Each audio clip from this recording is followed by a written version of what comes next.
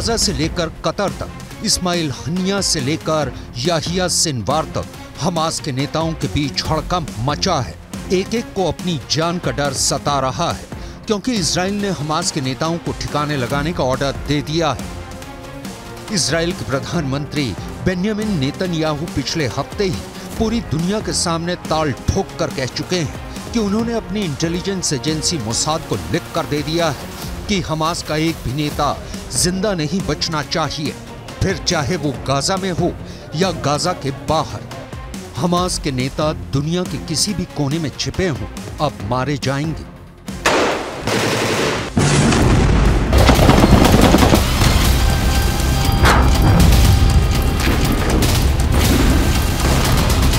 אנחנו עושים כל מאמץ להחזיר את אה, חטופינו ובסופו של דבר נחזיר את כולם.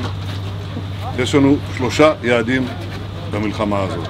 לחסל את החמאס, להחזיר את כל חטופינו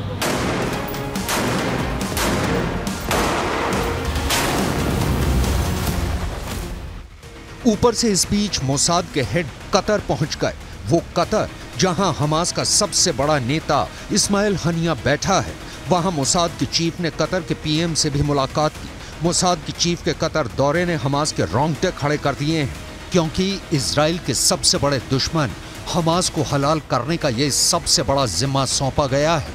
Israel की खुफिया agency Mossad को, वो मोसाद जिसके जासूस इसराइल के दुश्मन को पाताल से भी ढूंढ निकालते हैं।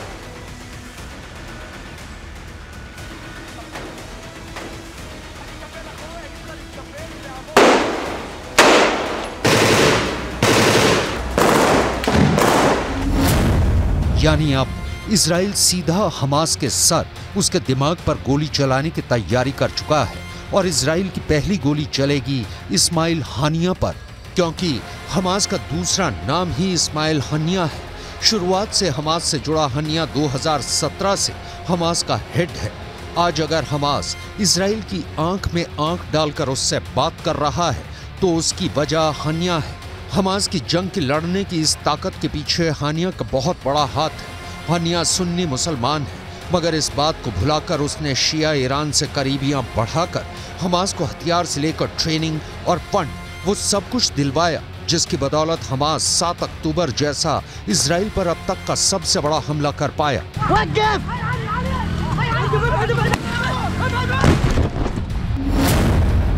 हमास की हर चाल के पीछे हानिया का दिमाग होता है, इसलिए हानिया खत्म तो हमास खत्म। तो क्या हनिया को मार डालेगी मोसाद? इसराइल युद्ध के पहले दिन से ही कह रहा है कि गाजा की ये लड़ाई तब तक नहीं रुकेगी जब तक हमास हलाल नहीं हो जाता और हमास तभी खत्म होगा जब उसे चलाने वाले इस्माइल हनिया जैसे नेता मिट्टी में मिलेंगे। लेकिन इस्माइल हनिया पिछले कुछ साल से इसराइल से मीलों दूर पश्चिम एशिया के देश कतर में बैठा है कतर इसराइल और हमास के बीच मध्यस्थता करवा रहा है और कतर अमेरिका का पुराना साथी है। खबर यह भी है कि कतर इसराइल को साफ़ कह चुका है कि वो उसके यहाँ बैठे हमास के नेताओं पर हमला बर्दाश्त नहीं करेगा और खुद नेतन्याहू कतर से वादा कर चुके हैं कि इसराइल कतर में कोई ऑपरेशन नहीं करेगा, मगर अपने दुश्मनों के आगे इसराइल को कुछ नज़र नहीं आता। तभी तो उसने हमास के नेताओं को ठिकाने लगाने के लिए मोसाद जैसी अपनी एजेंसी को जिम्मा सौंपा। इसी बात से साफ़ है कि इसराइल के इरादे खूंखार है। मोसाद इसराइल के दुश्मनों को मौत के घाट उतारने के लिए पूरी दुनिया में बदनाम है। मोसाद इतने खुफिया तरीके से अपने ऑपरेशन चलाती है कि किसी को कानो कान खबर नहीं लगती। मोसाद के जासूस दूसरे देशों में घुसकर इसराइल के दुश्मनों को मौत के घाट उतार कर गायब हो जाते हैं और उन देशों की खुफिया एजेंसियों तक को भड़क नहीं लगती। मोसाद के जासूस अपने पीछे एक सुराग नहीं छोड़ते, तभी तो उनके ऑपरेशन साबित नहीं हो पाते। मोसाद को जो जानता है, वो उसके मर्डर वाले ऑपरेशन से भी अच्छी तरह से वाकिफ है। नेतन्याहू को इसीलिए मोसाद पर पूरा भरोसा है। 2010 में मुसाद ने दुबई के एक होटल में हमास के नेता की हत्या कर दी थी। 2018 में मोसाद ने मलेशिया में फिलिस्तीन के एक वैज्ञानिक को मौत के घाट उतार दिया था। और तो और 1972 के ओलंपिक्स में अपने एथलीटों की हत्या का बदला लेने के लिए मुसाद ने पश्चिम एशिया से लेकर यूरोप तक कसूरवार फिलिस्तीनी संगठन के नेताओं को चुन चुन कर मार गिराया। ये तो ऐसा कांड है, जिस पर हॉलीवुड के निर्देशक स्टीवन स्पीलबर्ग 2005 में फ़िल्म तक बना चुके हैं। इसराइल के दुश्मनों को चुपके से मौत के घाट उतारने के लिए मोसाद की एक खास यूनिट काम करती है। उसके जासूसों को हथियार से भी जान लेना सिखाया जाता है और हथियारों के बिना भी उन्हें बिजली की रफ्तार से इतनी तेज कार और मोटरसाइकिल चलाने की ट्रेनिंग दी जाती है कि अपने काम को अंजाम देने के बाद वो छू मंतर हो जाते हैं। बात सुनने में किसी एक्शन हॉलीवुड फ़िल्म की कहानी लगती है, लेकिन मोसाद के काम करने का स्टाइल किसी फ़िल्म से कम नहीं।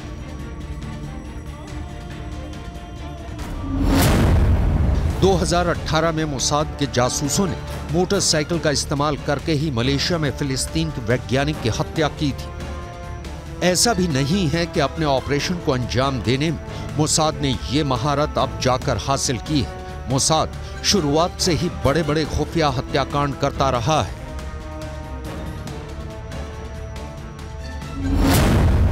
मोसाद की जासूसी की बदौलत ही इसराइल उन्नीस सौ सड़सठ की जंग में सीरिया से गोलान हाइट्स का इलाका हथिया पाया था और आज भी वहाँ इसराइल की सेना तैनात है। तब मोसाद ने एली कोहेन नाम के अपने जासूस को सीरिया भेजा था।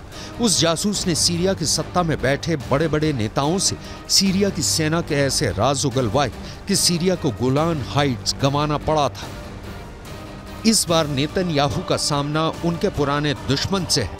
वो इस्माइल हनिया की रग रग से वाकिफ है, लेकिन हनिया भी जानता है कि मोसाद उसके पीछे है और उसकी एक गलती उसको हमेशा के लिए मौत की नींद सुला देगी।